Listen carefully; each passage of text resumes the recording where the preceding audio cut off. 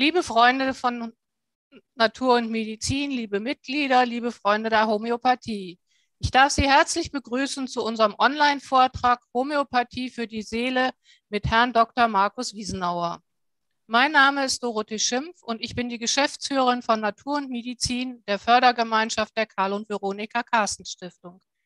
Für alle, die die Stiftung und den Verein nicht kennen, erlauben Sie mir, dass ich diese Ihnen kurz vorstelle. Die Carsten Stiftung wurde vor genau 40 Jahren gegründet vom ehemaligen Bundespräsidenten Karl Carstens und seiner Frau Veronika Carstens. Sie war Ärztin, Internistin mit den Schwerpunkten Homöopathie und Naturheilverfahren. Sie hatte die Vision, Arzt und Ärztin der Zukunft sollten zwei Sprachen sprechen, die der Schulmedizin und die der Naturheilkunde und Homöopathie. Wir sagen heute dazu die integrative Medizin.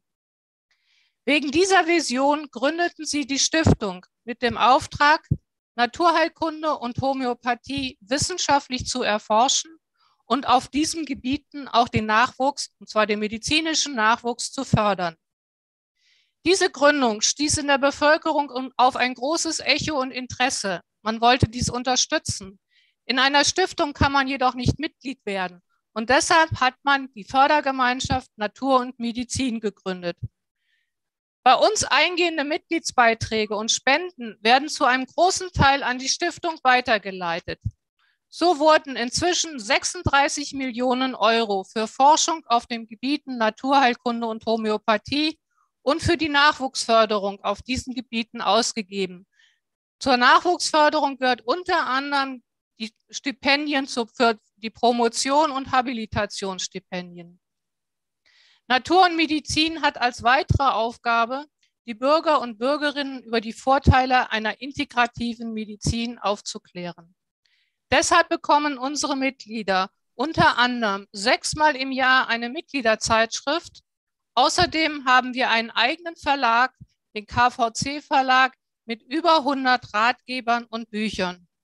Ich möchte Sie einladen, sich unsere Webseiten von Stiftung, Verein und Verlag anzusehen und sich zu informieren über unsere Angebote.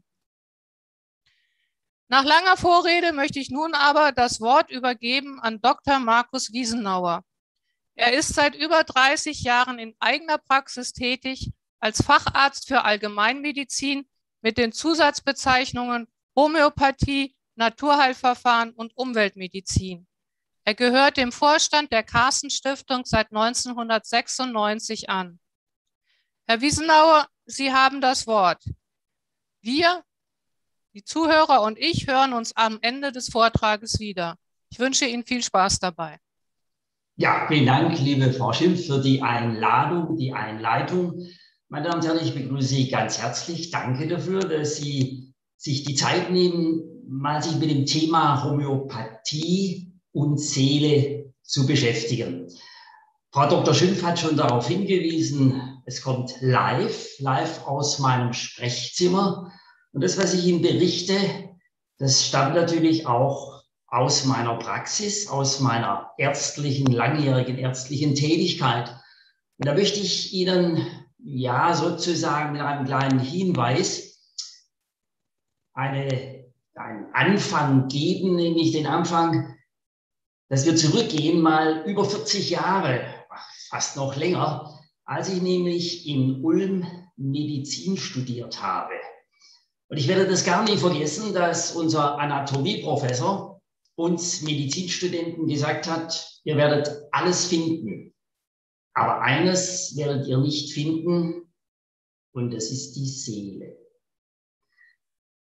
Das ist anatomisch schon richtig, aber trotzdem, sie und ich spüren die Seele. Und deswegen passt das Thema ja auch so gut zur Homöopathie. Ich finde es immer wieder faszinierend, Homöopathie als eine Behandlungsmöglichkeit bei vielen akuten und chronischen Erkrankungen. Nein, nicht bei allen Erkrankungen, aber immerhin bei ganz vielen Erkrankungen. Und wenn immer wieder die Diskussion kommt wegen der Homöopathie, dann ist es in der Tat so, dass sehr vergleichbar mit dem Thema der Seele, dann ist es sehr vergleichbar, was macht eigentlich die Homöopathie beim Menschen? Ja, die macht schon was, wenn man sich ernsthaft damit beschäftigt. Und so wie vieles eben in der Homöopathie trotz aller Forschungsmaßnahmen und Methoden ungeklärt ist, das Wie, das muss man in Frage stellen, wie das genau funktioniert. Ich habe da natürlich meine Ideen dazu, aber dass es funktioniert, das lässt sich Tag aus, Tag ein, nicht nur hier in meiner Praxis eindeutig belegen, sondern weltweit belegen. Und übrigens, damit wir uns da richtig verstehen, Globuli, diese Streukügelchen, sind nur eine Darreichungsform. Die Homöopathie ist mehr als nur Globuli geben. Ja, ist schon richtig. Das gehört damit dazu, denn Hahnemann, der Begründer der Homöopathie, immerhin ein Wissenschaftler, damals vor 225 Jahren, der als Leipziger Hochschullehrer die Homöopathie, ob Sie sagen begründet hat oder entwickelt hat, das bleibt sich gleich. Der hat nämlich eben nicht nur Arzneimittel gegeben, sondern das war was ganz Innovatives. Der Hahnemann hat nämlich gesagt, so als Spruch, als Leitsatz, den ich Ihnen gleich übersetze. Der hat nämlich gesagt, ändere dein Leben. Ah, Lebensstil verändernde Maßnahmen. Das ist das, was wir heute in der Medizin sagen. Sie sehen, wie modern die Homöopathie ist. Und dann sage ich noch etwas. Als ich heute Morgen hier die Tageszeitung gelesen habe, Sie hören das an meiner Sprache an, ich komme natürlich aus dem wilden Süden, aus der Region Stuttgart. Und als ich hier die Tageszeitung gelesen habe, da ging es in einem Artikel um Long-Covid. Das ist nicht unser Thema, sondern es geht in dem Artikel darin, dass gesagt wird, dass eben ein Long-Covid, also diese anhaltende Symptomatik nach einer solchen Infektion, dass diese Symptomatik oft bei Menschen oder vor allem auch bei Menschen lang anhaltend ist die unter Stress zuvor gelitten haben, also stressige Tätigkeit haben oder einen Lebensstil gehabt haben, der eben für Körper, Geist und Seele nicht zuträglich gewesen sind. Ich fand das sehr, sehr spannend. Man könnte an der Stelle noch viel mehr sagen, denn, und solche Patienten habe ich, die genesen sind, und die jetzt unter seelischen Beschwerden leiden, unter körperlichen Beschwerden leiden. Und es ist doch ganz klar, dass diese Patienten zuvor von einem Kardiologen, also vom Herzspezialisten oder von einem Lungenfacharzt untersucht worden sind, wo sich kein entsprechender Befund ergibt, wo oft dann auch schlicht und ergreifend das Stichwort der mangelnden Leistungsfähigkeit eine Rolle spielt. Und jetzt baue ich mal die Brücke zur Seele. Ich meine, solche Menschen, die haben ja auch etwas mitmachen müssen. Vor allen Dingen auch solche Patienten, die im Krankenhaus gewesen sind. Und da gibt es in der Homöopathie ein ganz bewährtes Arzneimittel. Und dieses Arzneimittel heißt Gelsemium. Und dieses Gelsemium der Jasmin, aus dem dieses homöopathische Arzneimittel hergestellt wird, wird schon immer eingesetzt bei einer, ich sage jetzt mal, verzögerten Genesung. Na, das klingt so altväterlich, Genesungswünsche. Sie können das auch übersetzen und sagen Rekonvaleszenz und im Zusammenhang mit Covid gewinnt das eine ganz andere Bedeutung, diese Genesungsphase die Rekonvaleszenz. Und es ist auch in diesem Zeitungsartikel zum Ausdruck gekommen, dass man vor allen Dingen Maßnahmen ergreift, um den Menschen in seiner Seele wieder zu stabilisieren. Und dann nehmen Sie mal das Beispiel mit Gelsemium. Und da kann ich nur sagen, Gelsemium D6, nur als Beispiel übrigens D6, das ist die Arzneistärke. Dieses Gelsemium D6 wird dann zwei oder dreimal täglich eingenommen. Entweder fünf Globuli, fünf Streukügelchen vor dem Essen im Mund zergehen lassen oder aber Sie nehmen zwei oder dreimal täglich eine Tablette Lutschen. Das ist nämlich eine weitere Darreichungsform homöopathischer Arzneimittel. Wie lange kommt dann immer sofort die Frage auch hier im Sprechzimmer? Ja, das ist eben der Punkt. Und zwar Naturheilverfahren. Neuerdings sagt man ja zunehmend auch integrative Verfahren dazu, weil sie keine Alternativmedizin sind, sondern in die bestehende Medizin integriert werden. Diese Methoden der Naturheilverfahren, davon ist Stand heute auszugehen, dass sie die Selbstheilungskräfte regulieren. Ich habe es eingangs gesagt, wie genau das funktioniert, kann ich Ihnen auch nicht sagen. Man kann es nur beobachten, erfahren am Patienten. Und so sage ich den Patienten, jetzt nehmen Sie mal so ein Arzneimittel einfach die nächsten Wochen ein. Und dann werden Sie sozusagen selber entscheiden können, wie es Ihnen geht. Und da gibt es halt drei Varianten. Entweder es hilft oder es hilft nicht. Ja, Sie hören richtig. Es gibt keine 120 Prozent Therapieerfolge, nein, auch nicht mit der Homöopathie. Aber in vielen Fällen wirkt sie eben. Der Patient, der dieses Gelsemium einnimmt für zwei, drei Wochen, danach eine mehrtägige Pause einlegt und eventuell nochmals zwei oder drei Wochen lang das einnimmt, der sagt dann, ich fühle mich besser.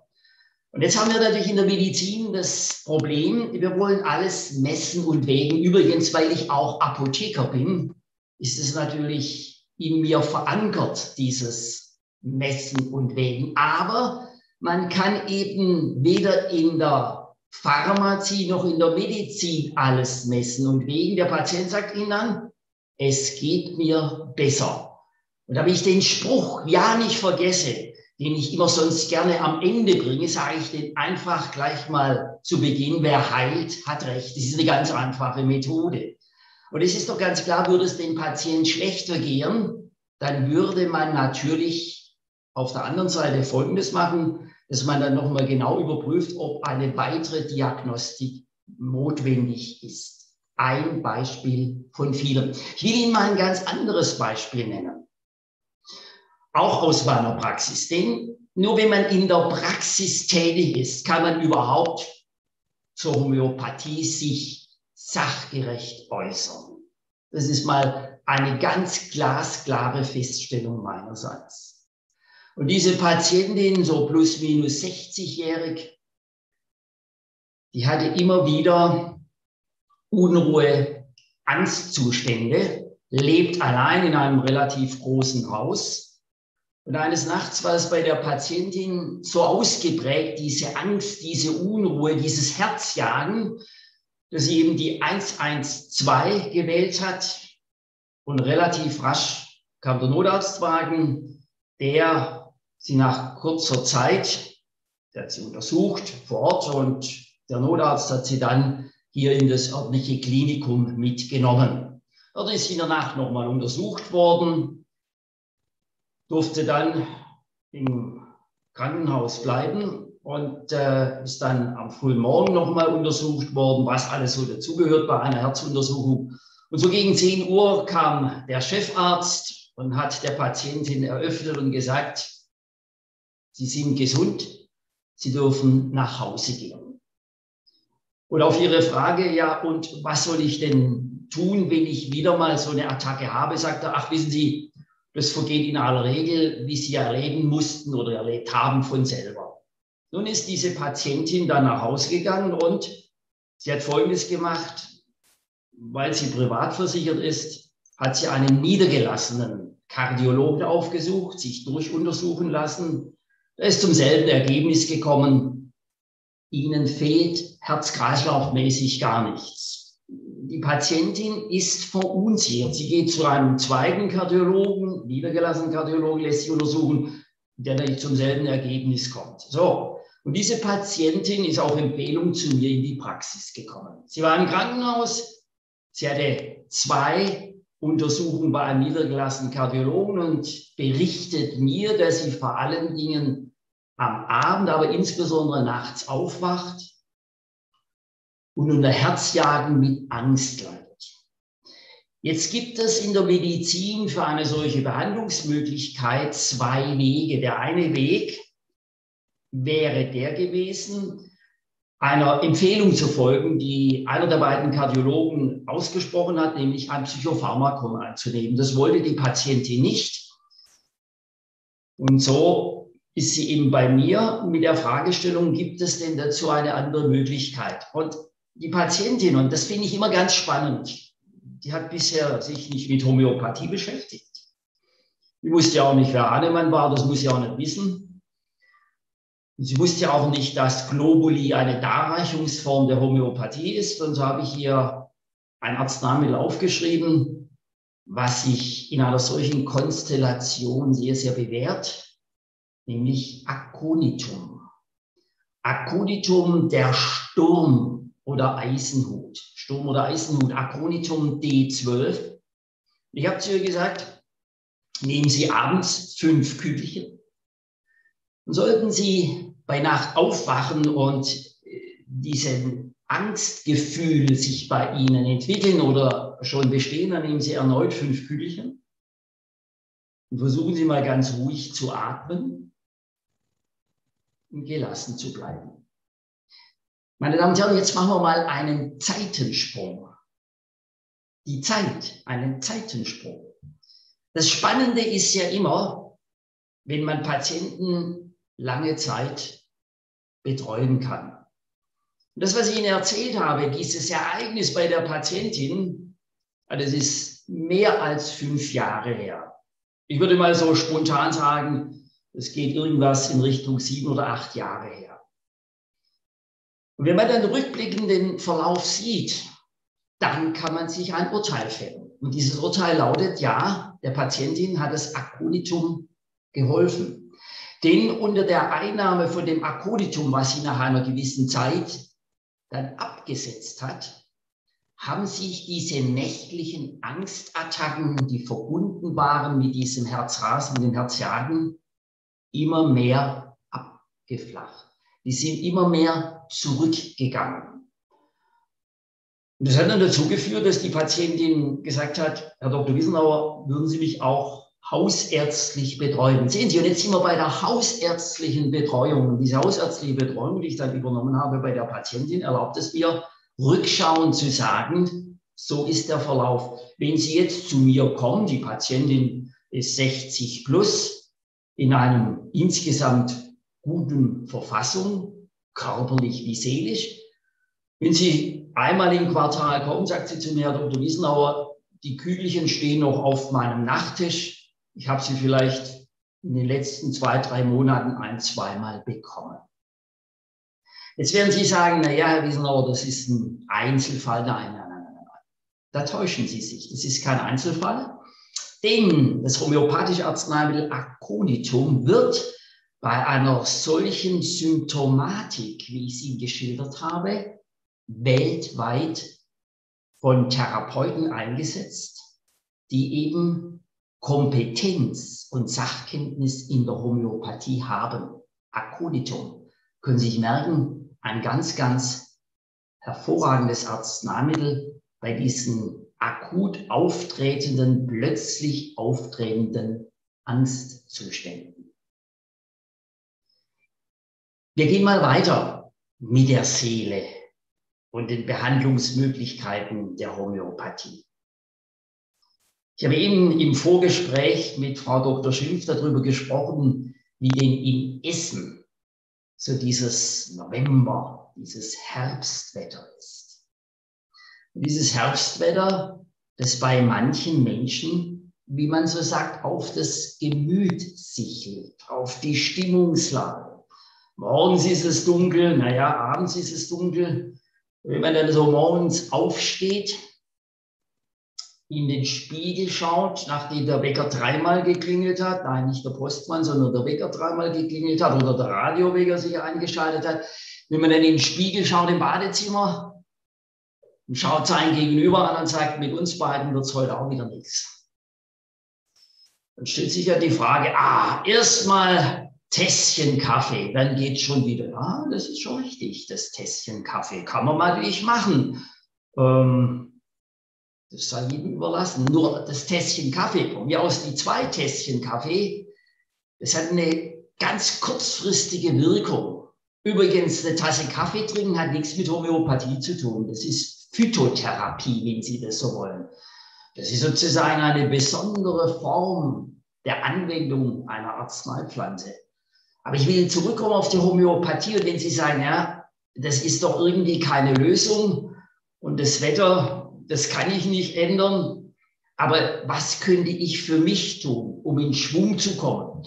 Ach, da würden mir tausend Sachen einfallen. Wenn ich Ihnen jetzt sage, morgens zum Beispiel an Kneipp denken, sehen Sie das nächste Vorurteil. Nein, Kneipp ist nicht gleichbedeutend mit Kaltwasseranwendungen. Das ist völlig falsch, sind Sie auf dem Holzweg. Kneipp, Sebastian Kneipp hat immer gesagt, kalt, nur auf warm. Also der warme Korb, die warme Dusche. Und dann ganz kurz, müssen nicht eiskalt sein. Sie brauchen deswegen jetzt nicht nach Ulm zu fahren, um in der Donau baden zu müssen. Nein, da reicht ganz kurz etwas kühleres Wasser. Und danach wird es ihnen richtig warm. Und damit kommt sozusagen ein, ich sage es mal ähnlich wie der Kaffee, aber vielleicht noch mehr erfrischender Effekt zustande. Es geht einem besser. Wenn Sie jetzt sagen, Herr Wiesenauer, ist nichts für mich, außerdem spare ich Wasser, ist auch recht gut, dann hätte ich Ihnen eine andere Möglichkeit. Da gibt es ein interessantes homöopathisches Arzneimittel. Dieses homöopathische Arzneimittel, das hat einen ganz schwer aussprechbaren Namen. Und zwar heißt das Arzneimittel Haplopappus. Haplopappus. Und dieses Haplopappus, das ist deswegen so interessant, weil es ist eine südamerikanische Pflanze. Und dieses Haplopappus, was übrigens als D6 angesetzt wird, dreimal täglich fünf Kügelchen vor dem Essen im Mund zergehen lassen oder dreimal täglich eine Tablette lutschen. Dieses Haplopappus ist deswegen so ein interessantes Arzneimittel der Homöopathie. Erstens mal, weil es zeigt, dass die Homöopathie eine innovative Arzneimitteltherapie darstellt. Und viele Arzneimittel, die wir heute in der Homöopathie einsetzen, waren zu Zeiten Hahnemanns noch nicht bekannt. Dieses Haplopappus haben wir einem sehr, sehr berühmten Arzt und Apotheker zu verdanken, nämlich Dr. Wilmar Schwabe. Und Dr. Wilmar Schwabe war in den 1950er, vor allem auch 1960er, 1970er Jahren weltweit unterwegs um zum Beispiel nach bislang unbekannten Pflanzen zu suchen, die man arzneilich verwenden kann. Und in den südamerikanischen Anden ist er eben auf diese Arzneipflanze oder auf diese Pflanze gestoßen, die jetzt in der Homöopathie einen ganz, ganz großen Stellenwert hat. Haplopappus B6. Und wenn Sie sagen, oder wissen wollen, wie heißt denn die Pflanze auf Deutsch, dann muss ich Ihnen sagen, die hat keine deutsche Pflanze. Diejenigen von Ihnen, die sich mit Botanik beschäftigen, es ist ein Korbblütlergewächs, dieses Haplopappus d6. Nun weiß man, dass der zu niedere Blutdruck ebenfalls solche Beschwerden machen kann wie man sie von dieser herbstlichen Witterung kennt. Diese herbstliche Witterung, wo manche, wenn sie es nicht kennen, sind sie froh, aber ich habe solche Patienten, die leiden unter einer Herbstdepression. Und dann stellt sich ja immer die Frage bei dieser Herbstdepression, durch was kommt es? Und nur diejenigen, die das nicht kennen, die können natürlich darüber schmunzeln. Aber diejenigen, die das kennen, denen ist nicht zum Schmunzeln zumute. Es ist eine besondere Form der Wetterfühligkeit, diese Herbstdepression. Und diese Herbstdepression, die oft natürlich mit dieser Niedergeschlagenheit einhergeht, mit dieser mangelnden Leistungsfähigkeit, dieses nicht in Gang kommen. Oft sind es dann auch Symptome wie so ein leichter Kopfdruck. Insgesamt, man fühlt sich nicht wohl. Und es ist auch eine Symptomatik bei dieser Herbstdepression, die vielfach auch Menschen kennen, die unter einem zu niedrigen Blutdruck leiden. Nun gibt es in der Homöopathie eine hochinteressante Untersuchung. Und zwar ist es schon einige Jahre her, da hat die Karl und Veronika Carstens Stiftung ein Forschungsprojekt gefordert.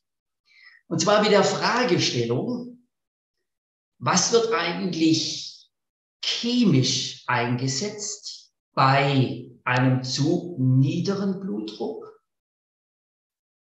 Und kann man das, was chemisch eingesetzt wird, sozusagen vergleichen mit diesem homöopathischen Arzneimittel Haplopapus. Das hat dann dazu geführt, dass man eine Studie durchgeführt hat, für diejenigen, die sich dafür interessieren, eine Doppelblindstudie über acht Wochen. Und in dieser Doppelblindstudie hat man das homöopathische Arzneimittel verglichen mit dem Arzneimittel, was man in der sogenannten Schulmedizin anwendet. Ich sage es Ihnen, wie der Stoff heißt. Der heißt Ethylephrin. Und das Ergebnis nach acht Wochen, das chemische Arzneimittel Ethylephrin ist bei der Behandlung der Symptome eines zu niederen Blutdrucks nicht besser wirksam als das homöopathische Arzneimittel Haplopapus. Aber es gibt doch einen Unterschied.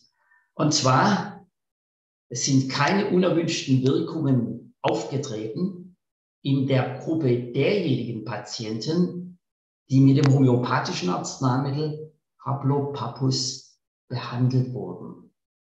Und dieses Haplopapus ist kein Akutmittel, sondern es ist natürlich ein Arzneimittel, was längere Zeit eingenommen werden kann. Und wenn der Patient sich besser fühlt, ich fühle mich besser,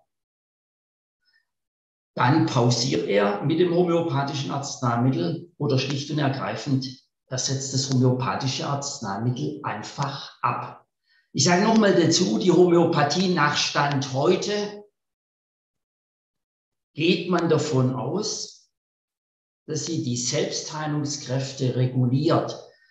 Und diejenigen, die sich mehr damit beschäftigen, denen gebe ich mal ein Stichwort. Und das Stichwort heißt der Psychoneuroimmunologie. Und da sind wir wieder bei dem Beispiel, was ich Ihnen eingangs gesagt habe mit dem Zeitungsartikel, in der Mensch in einem Gleichgewicht sich befindet, emotional und körperlich. Wenn er sozusagen gut drauf ist, dann ist er im Immunsystem auch stabil. Und deswegen ist ja auch der Hinweis von Hahnemann, ändere dein Leben. Das, was ich Ihnen vorher schon mal gesagt habe, nämlich die Lebensstil verändernden Maßnahmen. Und es ist immer so, diese Lebensstil verändernden Maßnahmen, sage ich immer meinen Patienten. Eine Behandlung steht immer auf zwei Beinen. Auf einem Bein lässt sich schlecht stehen. Ein Bein ist das, was der Patient aktiv dazu beitragen kann. Lebensstilverändernde Maßnahmen. Das kommt natürlich immer auf die Art der Erkrankung an. Und das andere ist die Arznei. Das kann die Homöopathie sein. Alleine. Das kann die Homöopathie plus zum Beispiel das pflanzliche Arzneimittel sein. Oder das kann als drittes das homöopathische Arzneimittel und das chemische Arzneimittel sein. Das eine tun, ohne das andere zu lassen. Aber ganz entscheidend sind sozusagen, dass der Patient sozusagen sich auf zwei Beinen ganz sicher fühlt. Und da kommen wir doch mal auf die Seele zu sprechen. Mir geht's nicht gut, sagt der Patient oder die Patientin. Es ist natürlich relativ einfach, ein Antidepressivum zu verordnen und nach zweieinhalb Minuten den Patienten hier aus dem Sprechzimmer wieder hinaus zu komplimentieren. Das ist ganz einfach. Ich habe ein anderes Verständnis von Medizin und Pharmazie. Nein, ich brauche keine drei Stunden, um das homöopathische Arzneimittel auszuwählen, sondern es geht darum, den Patienten zu vermitteln, was sein Beitrag ist. Der andere Part, das ist meine ärztliche Aufgabe, die ich mit dem Patienten dadurch abstimme. Und so sage ich den Patienten, entscheidend ist die Bewegung und die Ernährung und die Bewegung in viel frischer Luft. Sie mögen jetzt über das Stichwort Waldbaden schmunzeln. Sie sollen ja auch was zum Schmunzeln haben. Klar, ich schmunzle auch gerne in meinem Leben. Und dieses Waldbaden, der Aufenthalt in der Natur, das ist was ganz Wesentliches. Und dann sage ich noch mal was dazu. Es ist ganz interessant, dass diese, dieser Aufenthalt in der Natur ja auch in unserer Pandemie einen ganz, ganz anderen Stellenwert erreicht hat. Vielen Menschen, die gezwungenermaßen Homeoffice gepaart mit Homeschooling machen und überfordert sind, viele Menschen haben erkannt, wie wichtig das ist, die Natur. Und ich sage meinen Patienten am Abend, ich brauche die tausendste Corona-Sondersendung, gewiss nicht mehr im Fernsehen mich anzuschauen. Das brauche ich nicht. Sondern nehmen Sie die Zeit, gehen Sie mit Partnerin oder Partner, je nach Lebensalter, nehmen Sie Ihr Kind mit oder Ihre Kinder, machen Sie nochmal eine Runde um den Häuserblock. Das gehört auch zur Seele dazu. Und dann natürlich am Wochenende in der Natur zu sein. Und dieses Bewegung und Ernährung, das hängt natürlich ganz eng miteinander zusammen. Ich finde es immer wieder interessant, dass viele Aspekte der Homöopathie, der Naturheilverfahren lange Zeit belächelt werden. Gut, dann hat man ja auch was zum Lächeln. Und wenn Sie Ihren Gegenüber anlächeln, dann lächelt er wahrscheinlich zurück. Im einfachsten Falle, er grimassiert, aber er gibt ihnen ein Zeichen. Und dieses viele Dinge belächeln führt mich wieder zurück auf ganz aktuelle Forschungsarbeiten. Und wenn ich als praktizierender Facharzt noch vor drei oder fünf Jahren was zur Darmflora gesagt habe, dann war mir dieses Lächeln meiner ärztlichen Kolleginnen und Kollegen sicher. Und heute? Ah, Heute spricht man anstelle von Darmflora vom Mikrobiom. Und wenn das Wort Mikrobiom fällt, dann wird in der Medizin das wissenschaftliche Gesicht aufgesetzt und heißt es, ja, das Mikrobiom. Das hat eine ganz große Bedeutung. Nein, nicht nur für den Darm, für die Darmtätigkeit. Da gibt es das darmverbundene Immunsystem. Und inzwischen weiß man, das hat nicht nur was mit dem Immunsystem zu tun, was die Selbstheilungskräfte und die Abwehrfunktion betrifft, sondern das hat auch was mit unserer Psyche zu tun. Und wenn Sie mal so ein bisschen recherchieren im Internet, wo viel Schrott zu finden ist, aber manche scheinen da ihr Vergnügen zu finden, den Schrott zu verbreiten. Aber wenn Sie mal was Ernsthaftes lesen wollen, dann belesen Sie sich mal über Darm, Mikrobiom und Psyche. Und jetzt kommt wieder die Homöopathie ins Spiel, nicht nur mit dem Thema Ernährung und Bewegung, sondern mit einem faszinierenden Arzneimittel mit Okoubaka.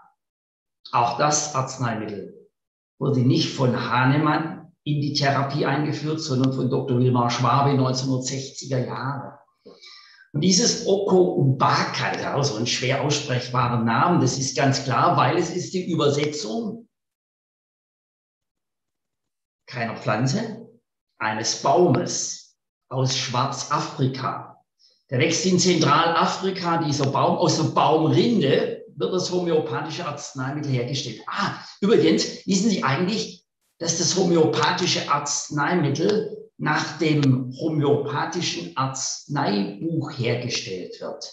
Übrigens, das Arzneibuch ist Teil des deutschen Arzneibuches und das deutsche Arzneibuch ist Teil des europäischen Arzneibuches. Also da wird nicht irgendwas im Kämmerlein zusammengemischt, manche sagen verdünnt, das sind aber die ewig gestrigen, sondern das wird schrittweise verarbeitet nach diesem Arzneibuch. Und dieses Arzneibuch, das ist etwas, was eine arzneimittelrechtliche Bedeutung hat.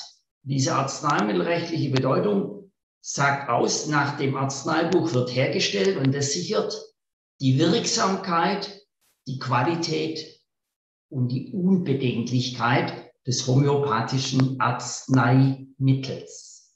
Deswegen gibt es die Arzneimittel der Homöopathie auch nur in der Apotheke. Und es gibt sogar homöopathische Arzneimittel, die sind verschreibungspflichtig. Die kann nur ein Arzt verschreiben. Und das wollte ich Ihnen an der Stelle einfach mal gesagt haben. Dieses Okuubaka, was hergestellt wird aus dem schwarzafrikanischen Rindenbaum, das ist genau das Arzneimittel, welches auf das Mikrobiom wirkt auf das darmverbundene Immunsystem. Das ist eine Patientin, kann auch ein Patient sein, der hier im Sprechzimmer sitzt, der war beim Internisten, der war beim Magen-Darm-Spezialisten, beim Gastroenterologen.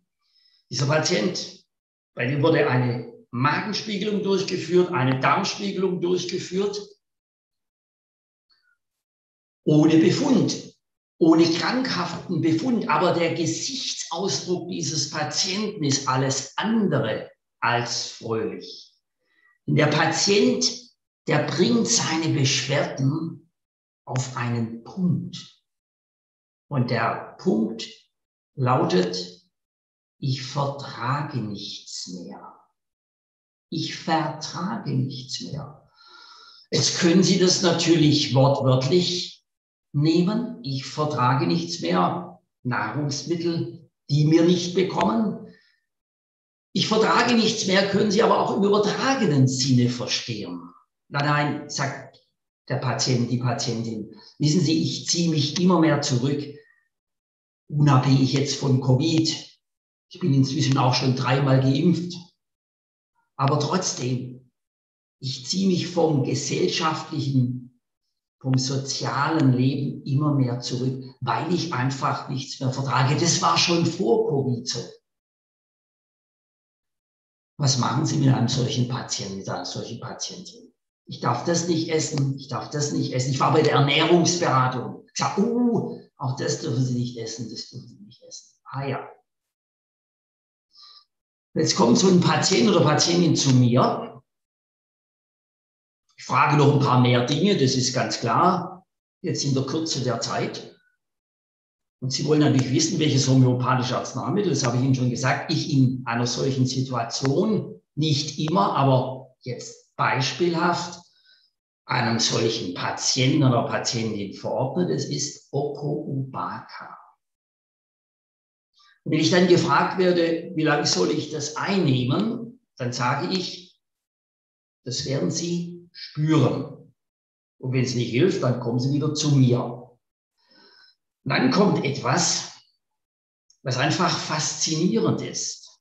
Das ist eben meine Begeisterung der ärztlichen Tätigkeit.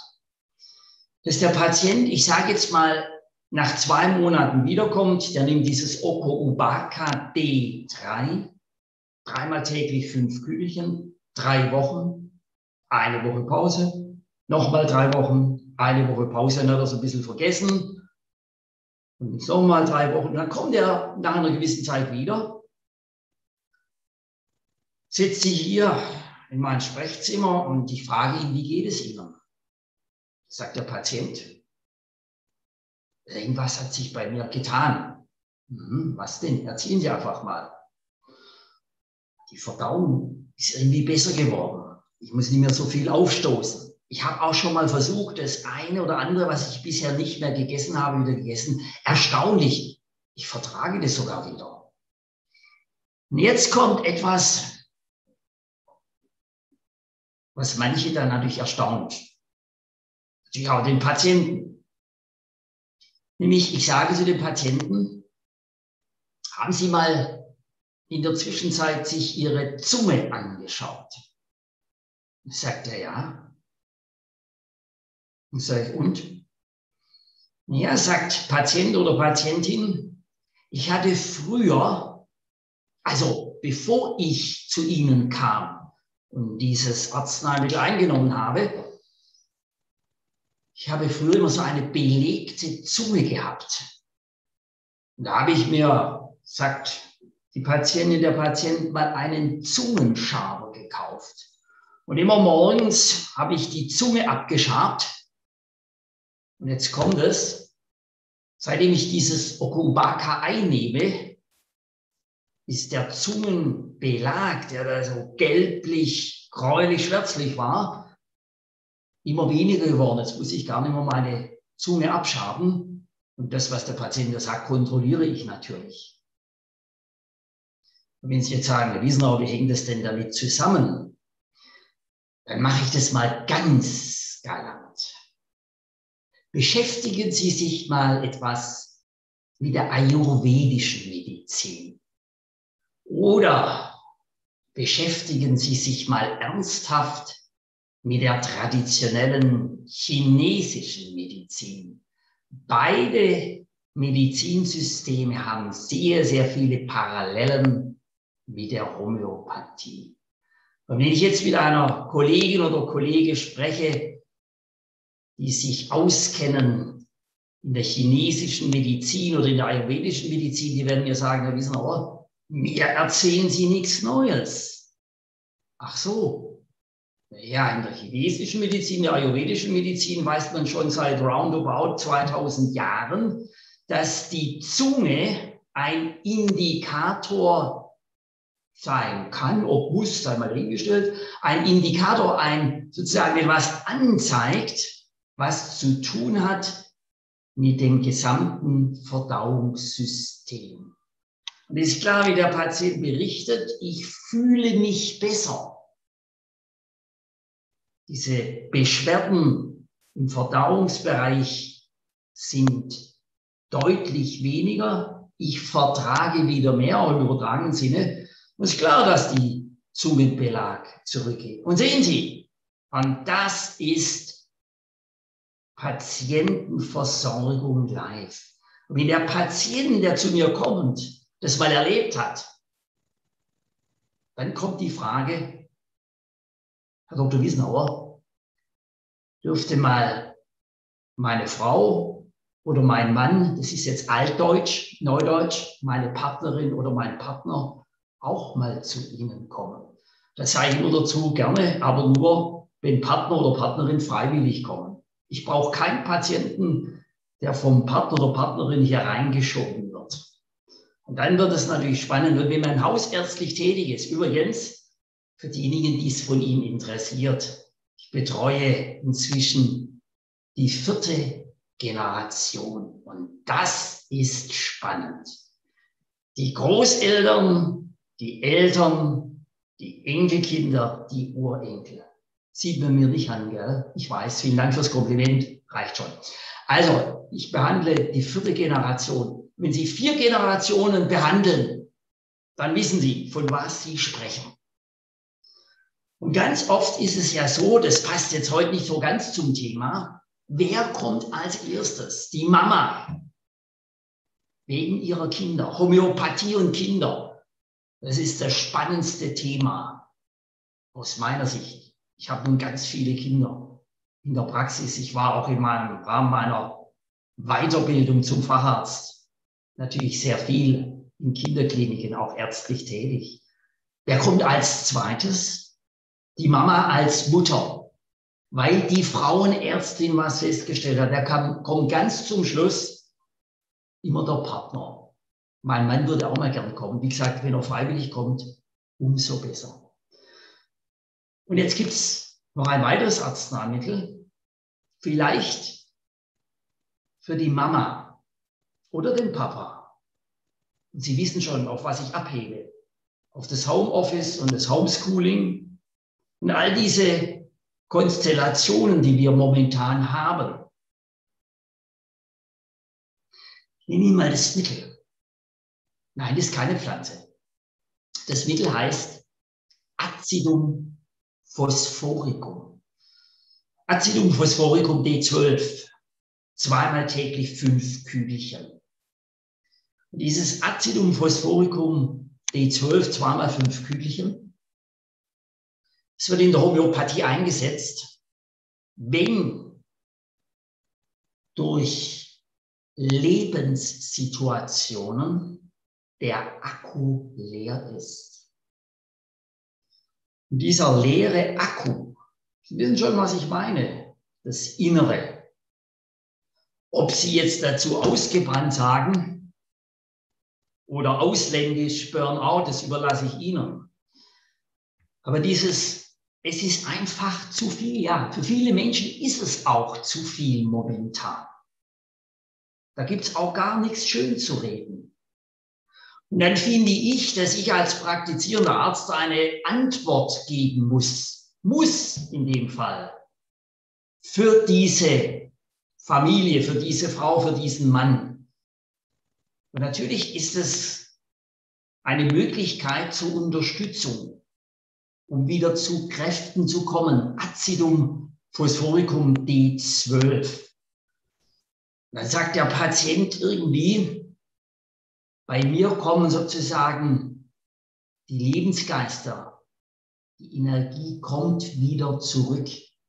Ich fühle mich kräftiger, ich fühle mich stärker. Klar, wenn Sie stärker sind, noch den anderen Aspekt mit berücksichtigen, nämlich ein paar Modifikationen, trotz Homeoffice eben nicht Fast Food machen, sondern vielleicht die gemeinsame Mittagspause nutzen, kann man wunderbar miteinander kurzfristig ein Mittagessen zaubern. Das ist möglich. Dann baut sich das nach und nach auf. Mein Blick geht natürlich auf die Uhr. Zeit vergeht immer viel zu schnell. Könnte Ihnen noch viel, viel mehr erzählen. Ich habe mir mal vorgenommen, zum Schluss meiner Ausführungen und das letzte Wort hat sowieso Frau Dr. Schimpf. Zum Schluss meiner Ausführungen einfach mal etwas zu zitieren. Oh, das ist eine wunderschöne Karte. Vielleicht erkennen Sie die.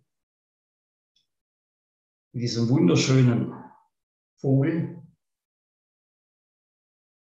Herzliche Grüße steht außen drauf. Eine Patientin nur diese Patientin, die wie oft so im Leben irgendwann bei mir, ich sage jetzt mal, erschienen ist in meiner Praxis, mit einem Lebensweg, den die Patientin sich ja auch nicht ausgesucht hat. Und ich lese Ihnen mal das Endergebnis vor. Die Patientin schreibt, lieber Herr Dr. Wiesenauer, möchte Ihnen nur kurz mitteilen, dass es mir sehr viel besser geht, nachdem ich Natriumchloratum seit vier Wochen eingenommen habe. Danke für Ihre Hilfe, die mir das Leben erleichtert und ich dadurch wieder Mut und Kraft gefunden habe. Soll ich Ihnen den letzten Satz auch noch vorlesen? Möge der liebe Gott es Ihnen vergelten. Herzlichen Gruß. Sie sagen ein Einzelfall. Nein, es ist kein Einzelfall. Natriumchloratum. Es ruft bei manchen immer so ein Lächeln hervor, ein müdes Lächeln. Natriumchloratum, ja, das ist das Kochsalz. Nein, nicht das Kochsalz in Ihrer Suppe oder auf Ihrem Frühstücksei, sondern Natriumchloratum ist ein homöopathisches Arzneimittel, was eingesetzt wird. Und zwar immer bei Menschen, die Schicksalsschläge hinter sich haben, erleben mussten. Und die Seele, auch die Seele muss heilen. Wenn Sie sich mal ein bisschen mit Psychologie beschäftigen, da gibt es einen Begriff, der heißt Trauerarbeit. Die Seele muss trauern können, dürfen. Und so wie es körperliche Wunden gibt, so gibt es auch seelische Wunden. Nun diesen Heilungsprozess zu unterstützen, auch das ist Natriumchloratum. Es ist kein Sofortmittel, sondern wie so viel im Leben, manches dauert seine Zeit. Und mit diesem Beispiel aus meiner Praxis möchte ich Ihnen für Ihre Teilnahme danken, wünsche Ihnen ganz persönlich alles, alles Gute. Und jetzt kommt natürlich der Spruch, der da lautet, nein, wer Heid hat recht, das habe ich ja schon gesagt, aber unser Pandemiespruch folgt, bleiben Sie gesund. Vielen Dank. Lieber Herr Dr. Wiesenauer, ich danke Ihnen ganz, ganz herzlich für Ihren wunderschönen, tollen Vortrag, sehr inspirierend. Und ich denke, er wird vielen Zuhörern einige Hilfestellung gegeben haben. Wir haben ganz aktuell eine Frage bekommen von Frau Anna Cornelius. Und zwar ähm, fragt sie, welche Möglichkeiten es homöopathisch gibt, ähm, wenn Kinder das Haus verlassen, wenn Kinder Pflüge werden. Ähm, ich kenne selber diese, habe selber diese Erfahrung gemacht, dass meine zwei Töchter das Haus verlassen haben. Und ich weiß, dass das für Mütter und Väter nicht unbedingt sehr einfach ist. Haben Sie dafür einen Tipp? Ja, natürlich habe ich da einen Tipp. Das Gespräch über diese Trennung, das ist was ganz Wichtiges, hat übrigens schon immer auch Kneip gesagt, erst das Wort. Das ist was ganz Wichtiges. Ja, Sie wollen natürlich jetzt ein homöopathisches Arzneimittel wissen, ja. Da gibt es ein ganz Wenn Sie haben. Ja, da gibt es ein ganz interessantes Arzneimittel. Das Arzneimittel heißt Pulsatilla, die Wiesenküchenschelle. Pulsatilla B12. Zweimal täglich fünf Kügelchen. Und da muss ich bei solchen Antworten immer etwas mich zurücknehmen, weil sonst fallen mir ganz, ganz viel Erlebnisse ein zu Pulsatilla, nicht nur jetzt mit dieser Trennung, äh, Flüge werden, das Haus verlassen. Äh, Pulsatilla ist natürlich schon ein ganz wichtiges Arzneimittel bei dem Stichwort Heimweh. Äh, robuste Naturen halten das vielleicht aus. Etwas sensiblere Naturen, für die ist es schon ein Weg des Schmerzes. So ist es auch. Und gerade auch Pulsatilla ist ja so ein Arzneimittel, was insbesondere auch für sensible Menschen immer als besonders geeignet bezeichnet wird. Und so ist es auch. Herzlichen Dank, Herr Wiesenauer. Ich würde mich freuen, wenn wir Sie nochmal zu einem Vortrag einladen dürfen, weil ich bin sicher, dass das von unseren Zuhörern auch sehr schön gefunden wurde. Ich möchte mich bei allen Zuhörern bedanken und würde mich sehr freuen, wenn sich der eine oder andere dazu entscheiden würde, Mitglied zu werden bei Natur und Medizin. Ähm, weitere Informationen zu dem heutigen Online-Vortrag finden Sie im Chat oder in der Videobeschreibung. Ähm, falls Sie noch nicht unseren YouTube-Kanal abonniert haben, dann würden wir uns auch sehr freuen, wenn Sie das machen würden. Dann werden Sie immer auf den Laufenden sein und ich kann versichern, dass wir im nächsten Jahr weitere Vorträge per Online hier für Sie freischalten würden. Ich hoffe, wir sehen uns bald wieder. Bis dahin ganz herzliche Grüße, einen wunderschönen Abend und ein herrliches Wochenende. Bis zum nächsten Mal.